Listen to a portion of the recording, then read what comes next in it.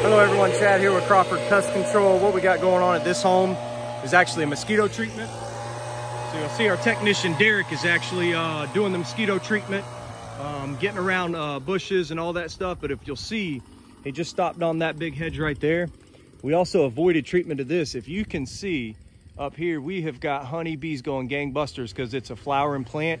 I mean, just going crazy. So we skipped this one, we skipped this one, we skipped that one that's over there. Anything that's got flowers on it, uh, we've actually skipped over. Obviously, um, when honeybees, if you've got flowering plants, we got to stay away from them. So uh, just a heads up to anybody who's doing honeybee treatments, make sure that we're skipping over this stuff.